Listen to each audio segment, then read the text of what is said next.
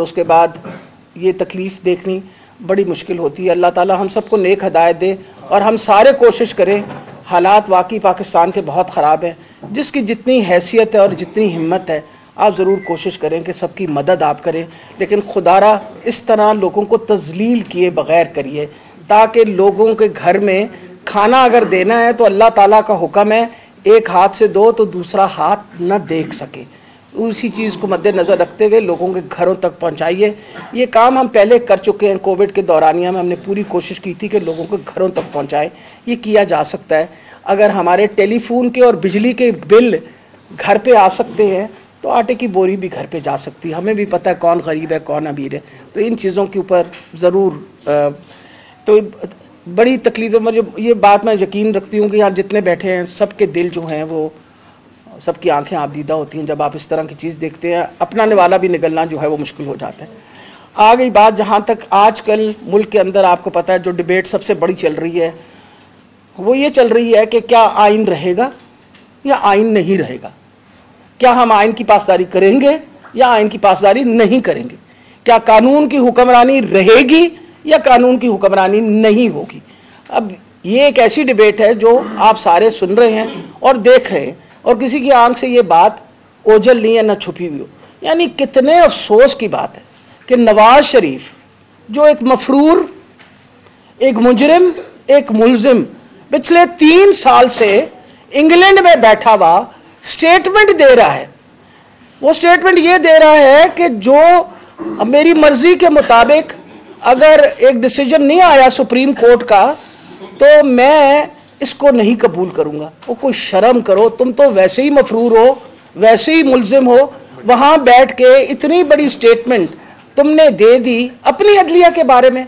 लेकिन इनसे कैसे अच्छे की उम्मीद रख सकता है इंसान? ये वही लोग हैं ना जिन्होंने 97 के अंदर आ, हमला कर दिया था। आ, सुप्रीम कोर्ट पे इनसे कैसे आप एक्सपेक्ट करेंगे कि ये आइन की पासदारी करेंगे या कानून की कोई पासदारी करेंगे? अहम बात यह है मर्ज़ी के मुताबिक ये कहते हैं कि काम चले हमारा। मैं तो ये आखिर में ये तो बात है अपनी। भाई तुम इतने वो कहते मुझे आ, कौन आ, क्या कहते हैं मैं एक इनोसेंट आदमी मुझे मैं बेचारा जो था मुझ पर एक इल्ज़ाम लगाया गया। मैं तो आपसे एक सीधा सवाल पूछने लगी हूँ और अब उसका जवाब दे दीजिएगा। मेरा ख्याल है अठानवे में 1998 में मॉडल टाउन के घर में आप रहते थे ना? जवाब ज़रूर दीजिएगा मुझे। और आप जहाँ रहते हैं वो भी देखा मॉडल टाउन वाला घर भी हमने देखा और सारों ने भी देखा हुआ है। अब जाटी उमरा भी आपने पता नहीं आपको मौका मिला या नहीं देखा, वो देख लीजिएगा ज़रूर। और एवनफील्ड अपार्टमेंट भी देख तो सवाल तो सादा था, आप मनी ट्रेल दे दें, बात खत्म हो जाएगी। लेकिन ये काम जो है, तब होते हैं जब इंसान कानून की पासदारी करता है और आइन की पासदारी करता है। पिछले अप्रैल में, पिछले अप्रैल, आज से एक साल पहले, सो मोटो एक्शन हुआ। तीन बंदों की बेंच बेटी, रात को कोर्ट खुले। पाँच बंदों की रात को कोर्ट खुली और हमारी हुकूमत जो है उसको हटा दिया गया। ये हुआ है ना? वो तब तो ये मरियम वो क्या कहते हैं, औरंगज़ेब लुडिया मार रही थी कि कमाल हो गया, कमाल हो गया। आज अगर वही बेंच बैठी हुई है, वही लोग हैं, अगर आज वो कॉन्स्टिट्यूशन की पासदारी कर रहे हैं, आज वो आइन की पासदारी कर रहे हैं, आज वो आइन की तशरी कर रहे हैं, वो हम मांग क्या रहे हैं? हम क्या मांग रहे हैं? हम ये थोड़ी कह रहे हैं, तुम्हारी हुकूमत को तार दे। हम तो ये कह रहे हैं, जहाँ दो हमारी हुकूमतें खत्म हुई हैं, जिनको हमने खुद तहलील किया है, आप मेहरबानी करके नब्बे दिन का था, नब्बे दिन के अंदर इलेक्शन करवा दीजिए। लेकिन आप लोगों को ही पता कि वो इलेक्शन क्यों नहीं करवा रहे? किसी से छुपा हुआ तो है नहीं बात। वो इलेक्शन इसलिए नहीं करवा रहे कि उनको पता है कि वो बुरी तरह हारेंगे। रुकावटें डाल दी थी ना इन्होंने, लाहौर के जलसे में। आप सारों ने कंटेनर देखे थे? कि लोग भी देखे थे। तो लोग को आसमान से थोड़ी उतरते हैं, लोग तो आ जाते हैं घरों से बाहर। इलेक्शनों में भी आप जितनी मर्ज़ी रुकावटें डालेंगे, लोग आ जाएँगे, वोट डाल के चले जाएँगे और आप हार के घर चले जाएँगे। ये सारी बातें बड़ी ज़रूरी हैं। आज जो इस इंटरम गवर्नमेंट ने जितना जुल्म किया, जो ये एक केयर टेकर गवर्नमेंट जिसकी जुरिस्डिक्शन भी नहीं थी, मियाँ साहब की मैं बहुत ज़्यादा मशहूर हूँ, ये हमारी लीगल कमेटी के इंचार्ज हैं। और इन्होंने मुसलसल उन सारों की पैरवाई की, जिन बेगुनाहों को उठा उठा के जेलों में डाला गया और उनको वहाँ दस दिन, बारह दिन, पंद्रह दिन वहाँ रखा गया। मैं उनसे रिक्वेस्ट करूँगी कि आपको सरा उसकी सारी डिटेल बता दें। बिस्मिल्लाह जैसे डॉक्टर साहब अभी बता रही थी, ये पिछले जब से ये सिलसिला चला है असम्बली के बाद नब्बे दिन के अंदर इंतखा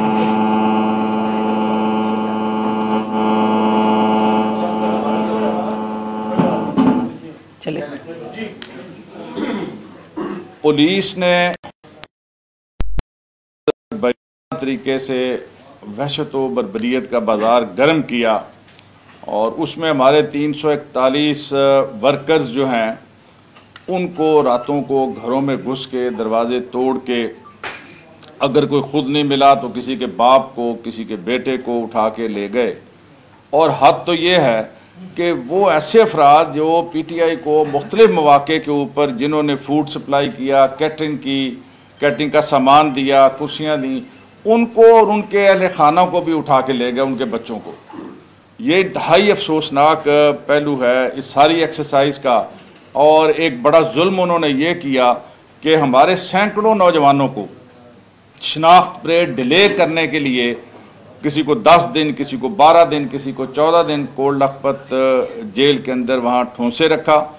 अल्लाह का शुक्र है कि हमारे जो बुखला की टीम है, उन्होंने भरपूर कोशिश करके वो शनाख्त परेड जो है, वो मुकम्मल करवाई और उसमें हमारा कोई वर्कर जो है, वो इस तरह से शनाख्त नहीं हो सका। हमारे चंद वर्कर्स के ऊपर जो इन्होंने क्लाशन कोफे और बोतल बम डाले थे, उनकी हम हाई कोर्ट के अंदर उनका अप्लाई किया हुआ है, बेल जो नेक्स्ट वीक में, हमें पूरी उम्मीद है कि वहाँ से उन्हें ये बेल मिल जाएगी। अब ये जिस दिन जलसा था, जलसे वाले दिन और रात को 2800 लोग सेंट्रल पंजाब से तकरीबन 2000 लोग, लाहौर से 800 लोग, हमारे लाहौर के गिद्दोनवा के जो अजला हैं, वहाँ से रातों को उठाए गए, किसी को दो दिन, किसी को तीन दिन, किसी को एक दिन, मुख्तलिफ़ थानों में मबहूस रखा गया, अगवा किया गया, कोई उनकी एफ़ आई आर नहीं काटी गई।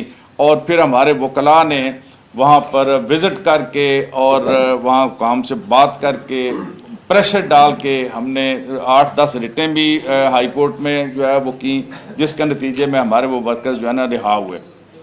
अब भी पुलिस का ये छापों का सिलसिला जो है ये जारी है। आ, मैं इन जो केयर टेकर गवर्नमेंट है उसको कहना चाहता हूँ कि ये उसका मैंडेट नहीं है। उनका मैंडेट नब्बे दिन के अंदर इंतबात कराना था।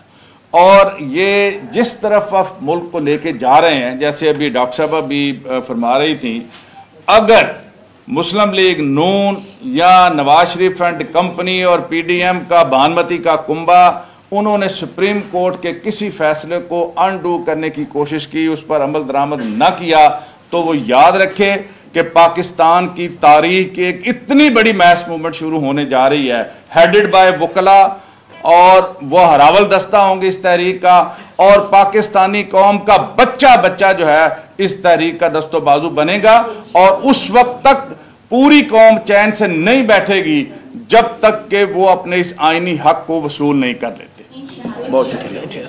आखिर में